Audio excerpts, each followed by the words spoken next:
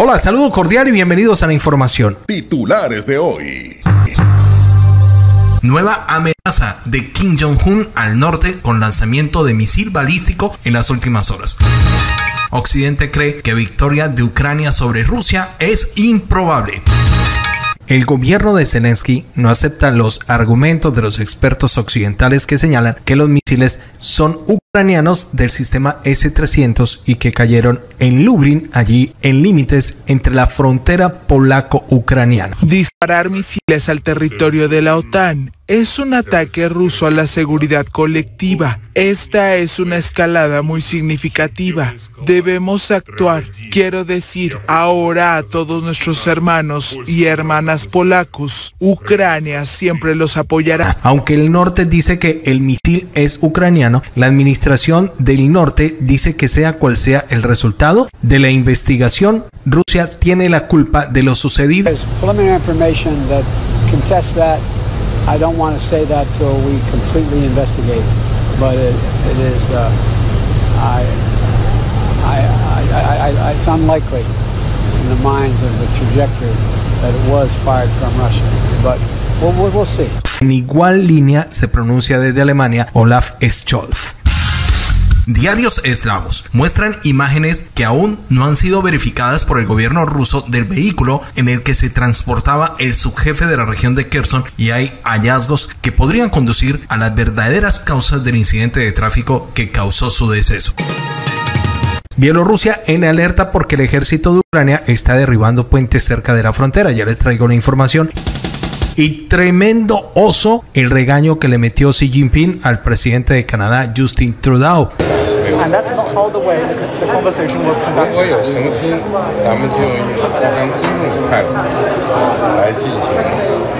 Ya les tengo todos los detalles al respecto de esta información ya se hace oficial, republicanos se hacen a la Cámara de Representantes y sacan del camino a la presidenta Nancy Pelosi. Los invito amigos para que se queden hasta el final del video para ponernos en contexto de lo que está sucediendo aquí en Noticias de Última Hora. Quédate conectado con las noticias del día. En noticia, amigos, en las últimas horas y primero que todo, un saludo cordial para todos ustedes.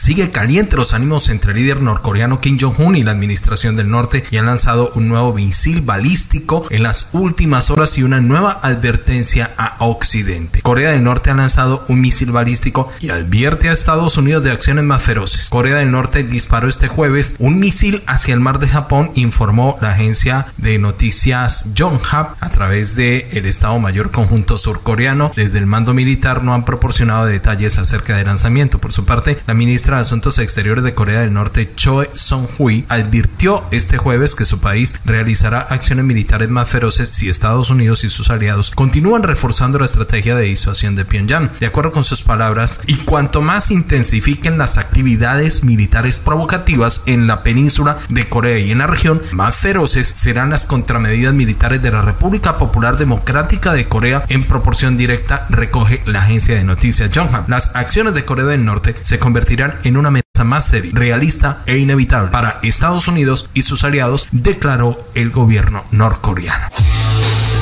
En las últimas horas preste muchísima atención a lo que están diciendo desde el Pentágono. Específicamente les hablo de el general con mayor rango en el norte. Estoy hablando de Mark Milley, que ha dicho en las últimas horas que una victoria de Ucrania ante Rusia no es probable. El general, como se los estoy diciendo, Mark Milley admite que la probabilidad de que Ucrania logre una victoria militar absoluta en el corto plazo no es probable, no es alta. Así lo ha dicho dicho Mark Milley en una conferencia de prensa sostenida este miércoles en el Pentágono desde la Secretaría de Defensa, ha expresado escepticismo ante una victoria de Ucrania a pesar de toda la ayuda que viene recibiendo de Washington sobre Rusia. Cito las palabras, la probabilidad de que una victoria militar ucraniana, definida como la expulsión de los rusos de toda Ucrania, incluida lo que ellos reclaman como Crimea, ocurra pronto no es alta, manifestó el mando castrense. Aún con todo, el general del norte destaca el significativo poder de combate de Rusia Dentro del territorio ucraniano, asegurando que Washington seguirá ayudando a Kiev en su defensa hasta que sea necesario. El gobierno de Hungría destacó que en el conflicto ucraniano Rusia tiene tantas ventajas que ya puede definir lo que es la victoria. De otro lado, el portavoz del gobierno ruso Dmitry Peskov el 7 de noviembre dijo que Moscú ordenará el fin de sus operaciones militares en Ucrania solo después de lograr los objetivos, aunque dejó abierto el camino de negociaciones para poner fin a la guerra y lamenta que Kiev no piense lo mismo. Aquí hay algo muy curioso porque muy pocas veces un general de alto rango en el norte reconoce la postura débil ante Rusia. Recordemos que en abril, dos meses antes del conflicto, Washington también prometió bombardear con armas a Ucrania hasta que Rusia sea derrotada, pero ahora los informes hablan de presiones ejercidas por Washington sobre Kiev para abrirse a la negociación del diálogo con Moscú. Ahora surgen varias preguntas con esto que está diciendo el general Mark Milley. Surgen preguntas como, ¿es por esta premisa que el norte, al no ver las posibilidades de una victoria del gobierno de Zelensky contra Rusia,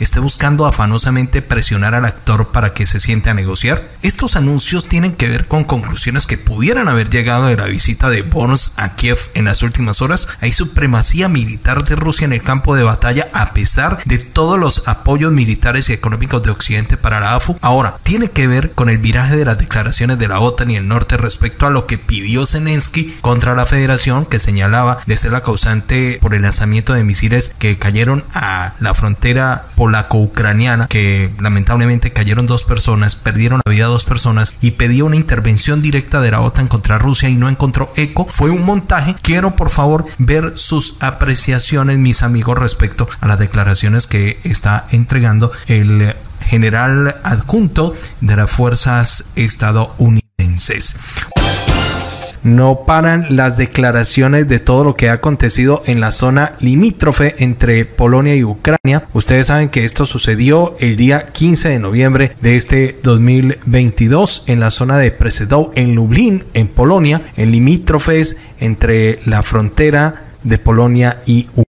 Pues bien, allí como resultado hubo dos personas que lamentablemente perdieron su vida. Rusia refutó las declaraciones e investigó con personal experto de la federación y afirmó que estos misiles efectivamente fueron presentados por el gobierno polaco. Los que fueron presentados por el gobierno polaco son ucranianos específicamente que hacen parte de los sistemas S-300 soviéticos. Pues bien, el gobierno polaco por su parte cree efectivamente, según sus organismos de inteligencia, que los artefactos son ucranianos. Alemania dice que sea quien sea el culpable es Rusia. Igual lo ha dicho el norte en las últimas horas. Así lo dijo por lo menos la portavoz de este país. Estamos hablando de Adrian Watson, que cito lo que dijo esta funcionaria en las últimas horas según el diario RT. Sean cuales sean las conclusiones finales, está claro que la parte responsable en la última instancia de este trágico incidente es Rusia, que lanzó una andanada de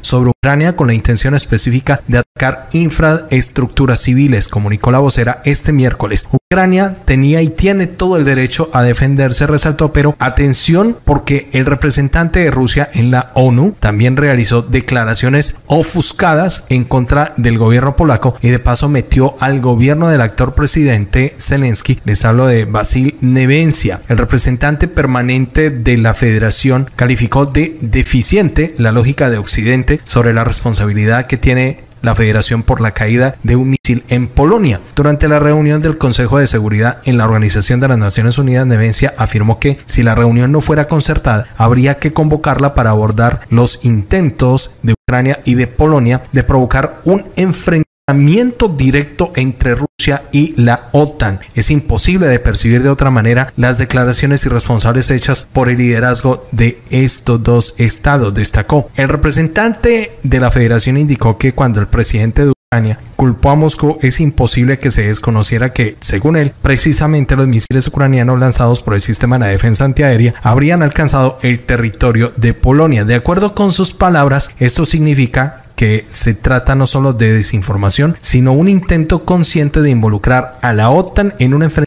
directo con Rusia. Por supuesto, pues esto causó revuelo en todas las esferas internacionales, señoras y señores, tenemos obligatoriamente que decir que Volodymyr Zelensky está en total desacuerdo con las apreciaciones que hizo el gobierno polaco y que se han hecho en torno a este ataque que coincidencialmente apuntan a ucranianos al punto de que llegó a pedir Que la OTAN actuara con toda la fuerza en contra de Rusia y a través del gobierno pues han presentado una voz de protesta en contra de la decisión de lo que han dicho los expertos que se inclinaron porque los misiles eran de procedencia ucraniana, procediendo, según la información de Avia.pro, a enviar a expertos especialistas de las Fuerzas Aéreas de Ucrania para que fueran e inspeccionaran la zona sin que hasta ahora pues se haya pronunciado la delegación o por parte del Ministerio de Defensa de Ucrania. Lo cierto es que se habla de dos misiles, pero solo se tiene la información concreta de uno de ellos, pero fue concretada o concertada por los informes de inteligencia de Polonia y de la OTAN, asimismo de la información que incluso el mismo presidente Joe Biden que aludió a que Rusia no estuvo involucrada en estos ataques. Mirando todo a que efectivamente pues los misiles aéreos eran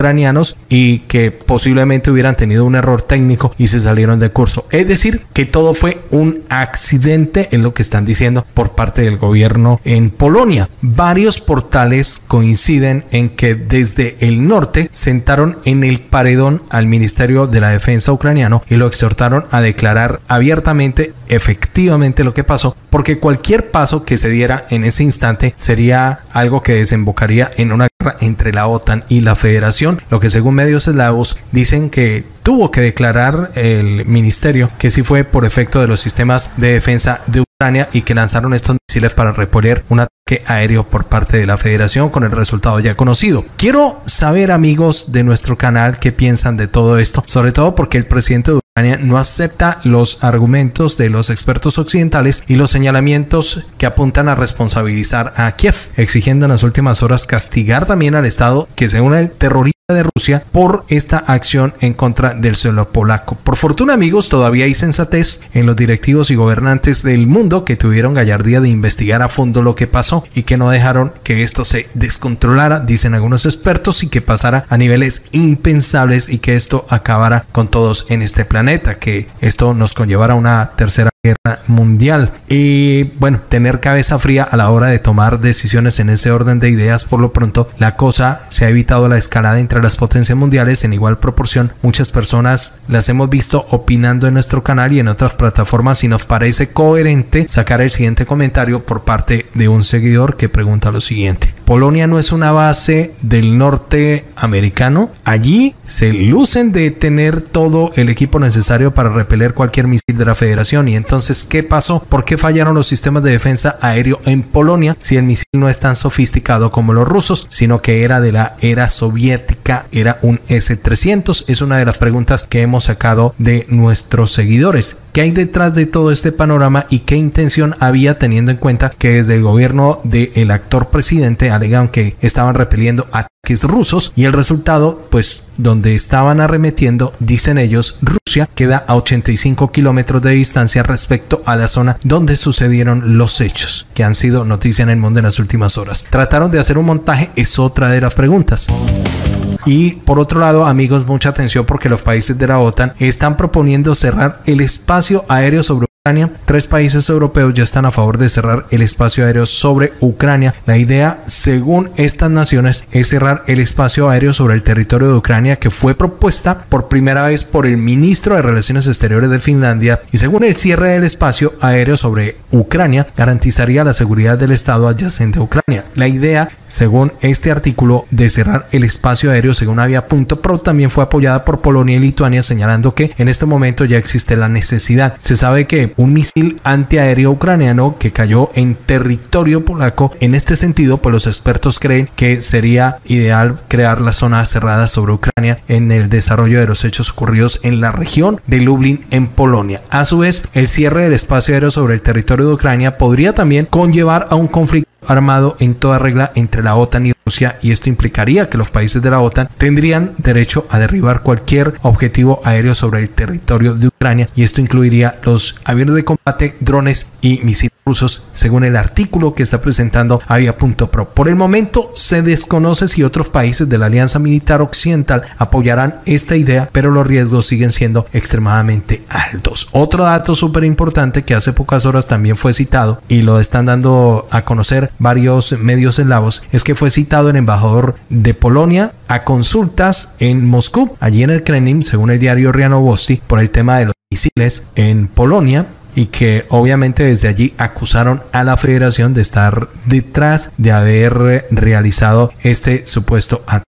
Lo cierto es que fue llamado a descargos, fue muy rápida la consulta entre el embajador y la Cancillería de Moscú. Según especialistas de Riano Bosti, Rusia le dijo a Polonia que no se involucre en sucias provocaciones con Ucrania y fue una de las advertencias emitidas por el gobierno al gobierno polaco por parte del gobierno ruso, según lo está reseñando Riano Bost. Además, se dice y se subraya que todo el flanco oriental a esta hora está en alerta con casas polacos patrullando las fronteras después de los hechos acaecidos y em, ahora se sabe también por el medio del diario digital TAS que Ucrania está derribando puentes cerca de la frontera con Bielorrusia, está denunciando Minsk en las últimas horas y esto en respuesta a que Bielorrusia ha fortalecido sus unidades de guardia fronteriza y ha intensificado el uso de medios técnicos de protección que ha involucrado a grupos movilizados de servicios territoriales de la guardia fronteriza. La información dice que Ucrania está volando puentes cerca de la frontera, dijo el miércoles el presidente del Comité Estatal de Fronteras de Bielorrusia, Anatoly Lapo, en donde ha dicho que han sembrado minas en las áreas ucranianas fronterizas con Bielorrusia y han volado casi todos los puentes que conducen a Gomel y a Mosir y ahora están comenzando a volar los que conducen a Bolin. Todos los caminos son intransitables, inviables, dijo la agencia de noticias Belta citada por él. Lapo señaló que los esfuerzos de Ucrania se centran en reforzar las barricadas mecánicas para proteger la frontera al mismo tiempo, toda la población en las zonas fronterizas de Ucrania estarían expuestas a la propaganda. El jefe del Comité de Fronteras de Bielorrusia dijo que todos los puentes fronterizos pues efectivamente han sido derribados. En respuesta, Bielorrusia fortaleció las unidades de la Guardia Fronteriza, intensificando el uso de medios técnicos de protección, involucrando a los grupos movilizados de la frontera territorial de la Guardia Fronteriza. Alexander Lukashenko señaló en octubre que Ucrania habría desplegado 15.000 soldados en la zona fronteriza.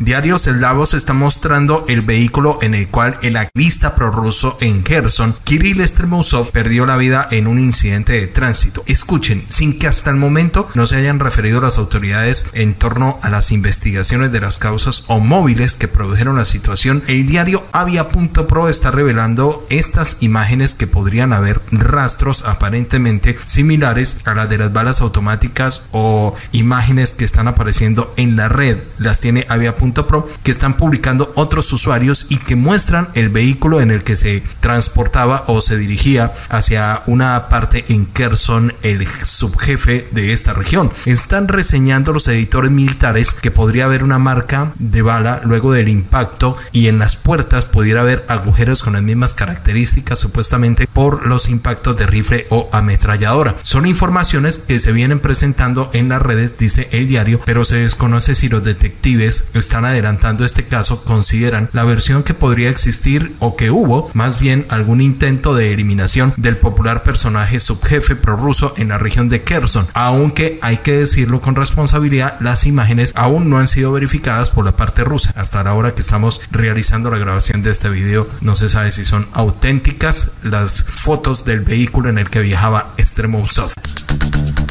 Y vamos a cerrar con esta noticia, el tremendo oso que pasó Justin Trudeau en manos de Xi Jinping porque Trudeau lo que nos dan a entender es que habría dado a conocer eh, publicaciones o declaraciones que entre Xi Jinping y Trudeau debieran haber quedado en la privacidad. Pues definitivamente Xi Jinping le dijo a Trudeau que no entiende lo que son las formas de la diplomacia. Si una reunión está a puerta cerrada es porque ambas partes acuerdan que lo que se dice es reservado y solo así las dos partes acuerdan se puede difundir algo. Por otro lado, filtrar a la prensa en todo caso tampoco es un mecanismo transparente, ya que en todo caso tendría que haber emitido un boletín informativo con lo que se quiere dar a conocer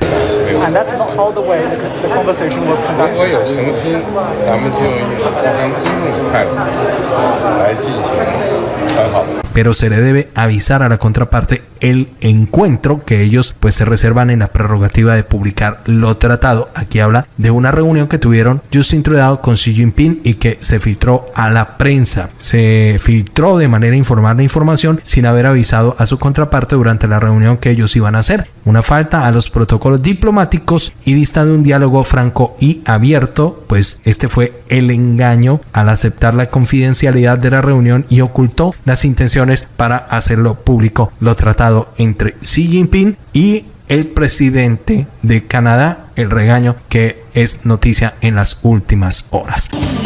Es decir, el presidente de Canadá fue por lana y salió trasquilado con Xi Jinping. ¿Ustedes qué opinan, opinan de esta situación que puso en ridículo al mandatario de la nación canadiense en pleno G20? Esperamos sus comentarios en la cajita de respuestas.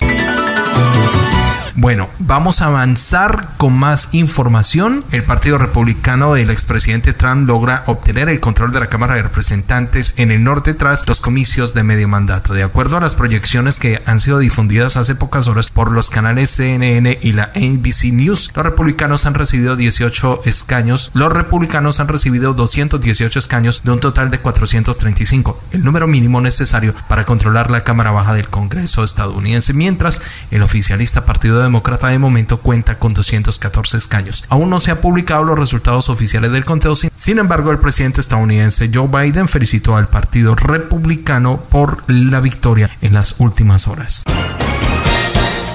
A ustedes, mil gracias por seguirnos, un abrazo y nos escuchamos en el próximo contenido. Dios los bendiga. Todo lo que necesitas saber en Noticias de Última Hora.